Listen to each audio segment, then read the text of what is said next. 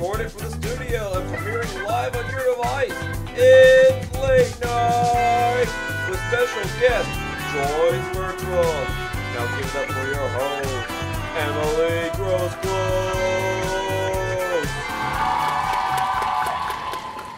Hello, and welcome to Late Knight. Unfortunately, our previous host Matthew is on an extended vacation for the foreseeable future and won't be joining us today. Oh, sad. Anyway, it just so happens that March is Women's History Month. I know it's April, but whatever, we're still celebrating because it's our show, not yours, and we love women here at Late Knight. Take from that what you will. So, in honor of Women's History Month, we thought we'd introduce you all to some kick ass women. As you may have heard, Deb Haaland was recently sworn in as the Secretary of the Interior. Haaland is the fourth woman and the first Native American to hold this position of power. Unless, of course, you count the several hundred years in which Native Americans were in charge of their own land, which the government obviously does not. F***ing colonizers. And if you too are a product of the American education system, you may not know what the Secretary of the Interior does. Haaland will be in charge of land preservation, which is a big deal because environmentalism is often whitewashed and is not presented as an inclusive space for people of color. Ironically, she will be managing the lands that Native Americans were kicked off of, aka literally every national park. Moving on, you can't really talk about successful women without at least mentioning Oprah. At her peak, she came to be known as the queen of talk shows and was considered American royalty, only for her to now only be known as the lady that says, You get a car, you get a car, you get a car. My main question is, how does one get a car from Oprah? Your girl needs a new rig. Recently, though, Oprah conducted possibly one of the most important interviews in British royalty history. As a result of this interview, we learned that, surprise, the oldest standing symbol of colonization and classism is racist. Honestly, I wouldn't want to hear about it from anyone other than Oprah and Meghan Markle. The next icon in our lineup has only ever been canceled for one thing being too glamorous. Our Lord and Savior Dolly Parton not only funded the Moderna COVID vaccine, but she's also created a reading program for children, sponsored college students, and spoken out against homophobia. I love Dolly, but I can't imagine having that much power and being able to decide what to do with it. I can't even decide what to feed myself in the morning eggs or oatmeal. Help me, Dolly. You're my only hope. Dolly definitely sparks joy, but do you know what doesn't? Men walking down the street who tell me that I'd be prettier if I smiled. I've seen a lot of women talking about this who have different methods for responding to these men. So, here are some responses to the phrase, you should smile more. Number one, barking, a classic. Woof.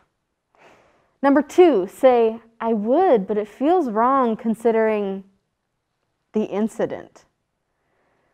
Number three, say, you should talk less.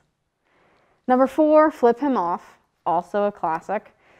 Number five, make the ugliest face possible. Number six, say me, smile, in this economy. Number seven, do a Jack Nicholson in The Shining smile.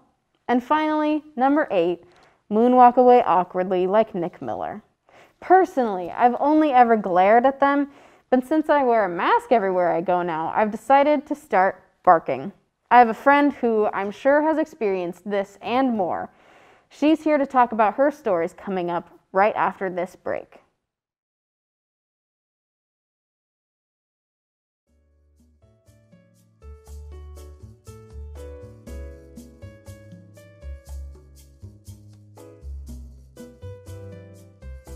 Haven't seen it yet. I've been told it's very good. I've been told it's Right, good. right, I've. That's I want to see Vidania. them lose faith in- That's Vidania. Okay, alright, mi camera dos. We're going to have David come in and pitch us. So it's time to pick a side. Bye, John.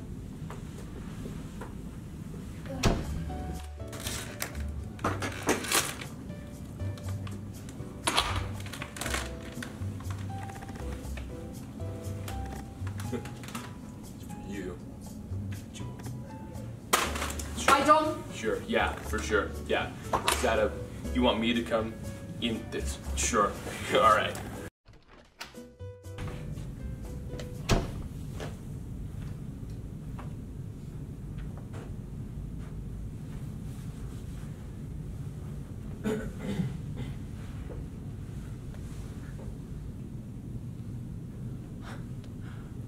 Hi.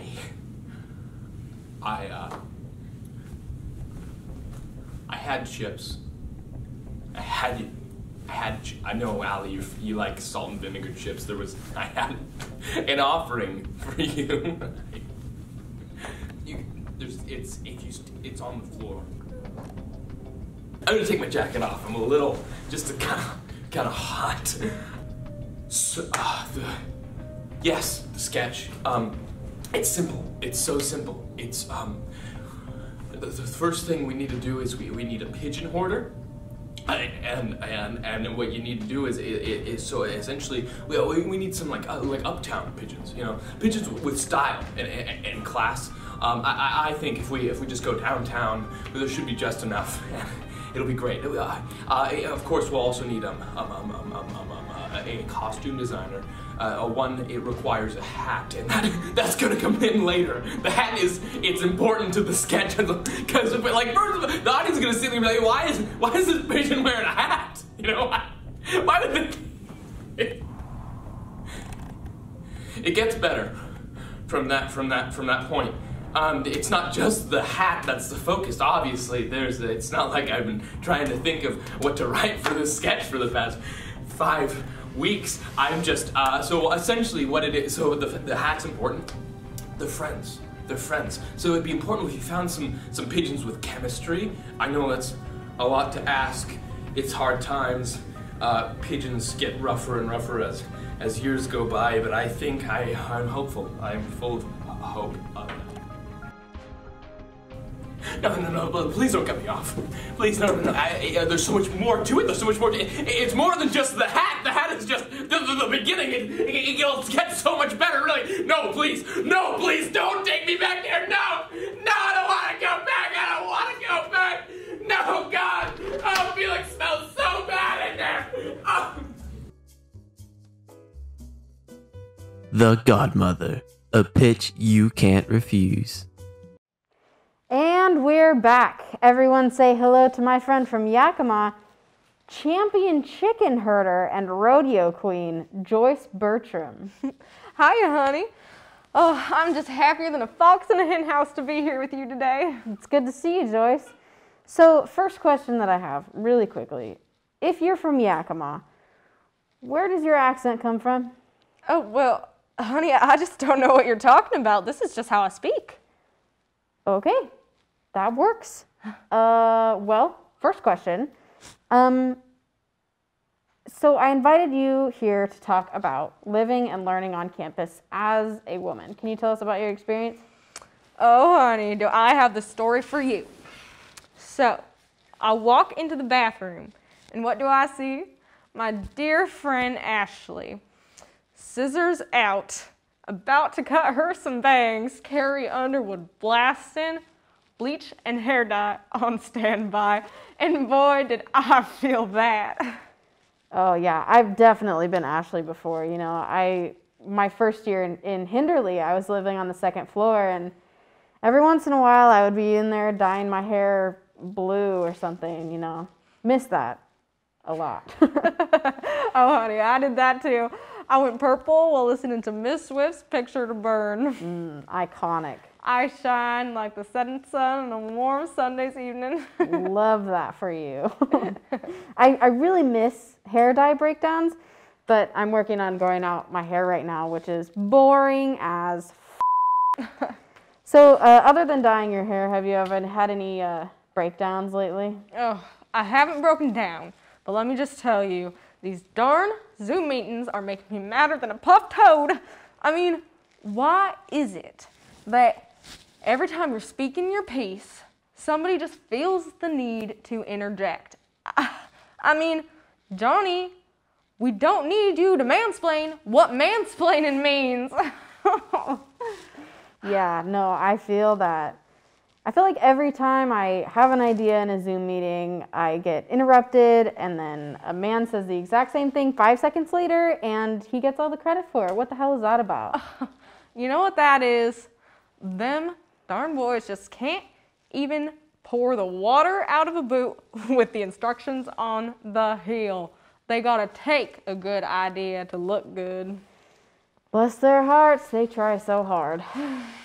Sometimes they try so hard, you can see steam escaping from their head. I mean, you could boil an egg with that kind of heat.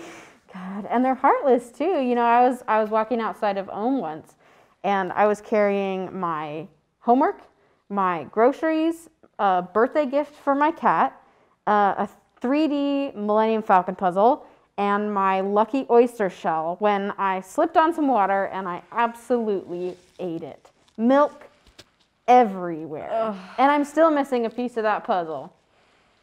God if anyway, I I fell in front of this guy and all he said was that sucks. And he kept walking.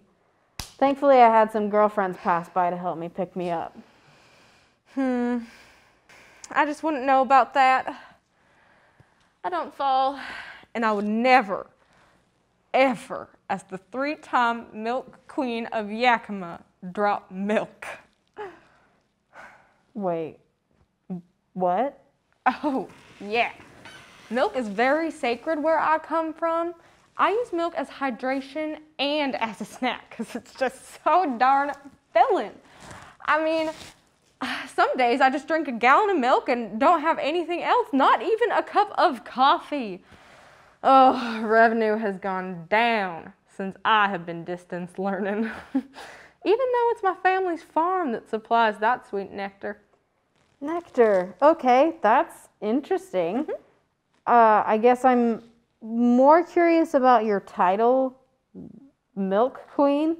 Oh, absolutely. So, Yakima has a pageant every year where a bunch of us cow loving ladies gather up in a pasture with our lovely horses and we herd us up some of our dairy cows. So, once we have them all lined up, we get to work on them udders. And the first cowgirl to fill up three pails of milk wins the title.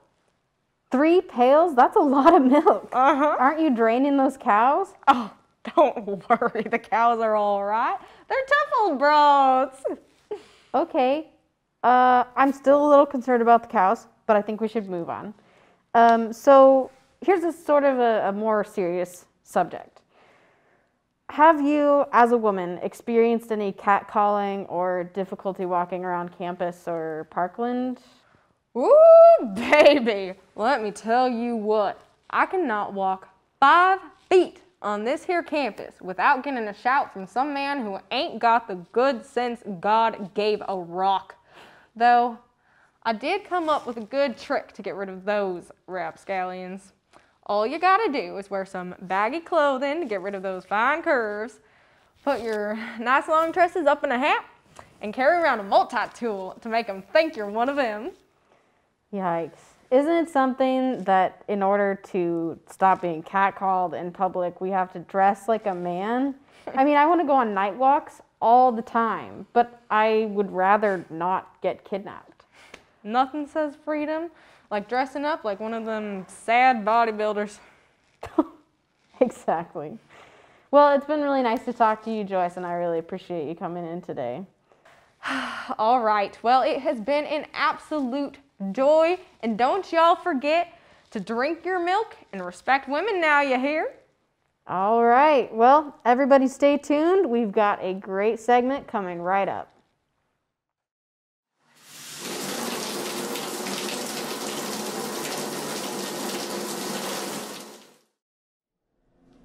Hey, have you seen the remote anywhere? The game's gonna be on soon. Uh, what game? The Chew finals are on in a few minutes. I literally cannot miss it. Here, I'll check over there. You check the couch. Gotcha.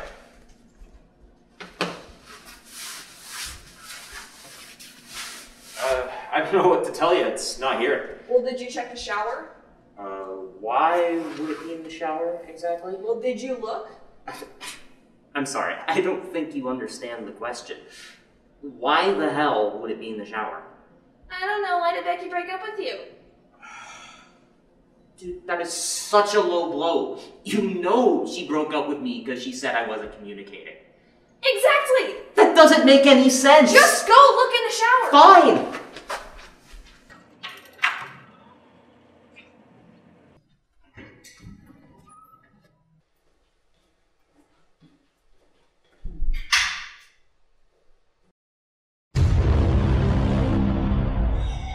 Uh -huh.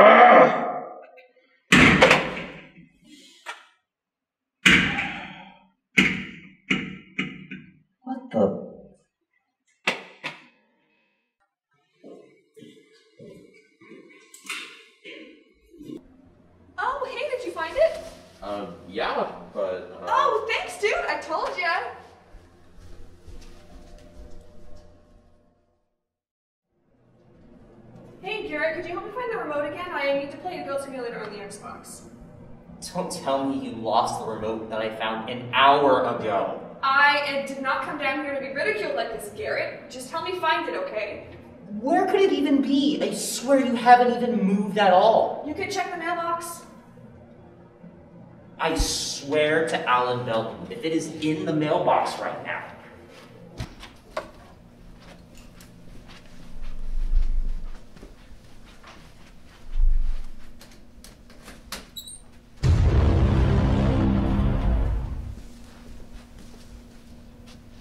Marla, how did you know it was in the mailbox? But Marla, why was it in the mailbox? Marla, don't just walk away like that. Come on. Marla!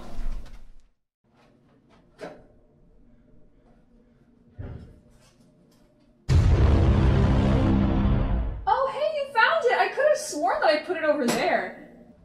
Marla, keep your eyes on this remote at all times. I don't want it to leave your hands, like, at all. Oh, okay? O- okay. Jeez. Good.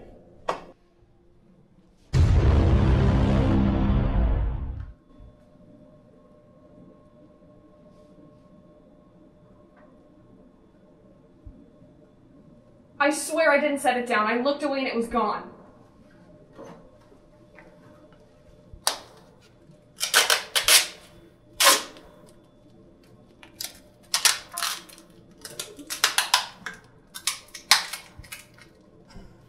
Ah, gosh, come on.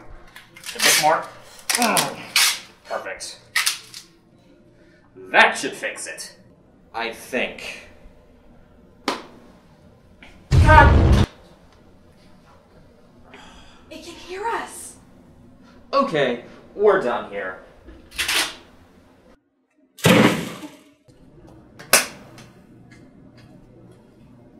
Sick. Oh, hold on. I'm getting a call.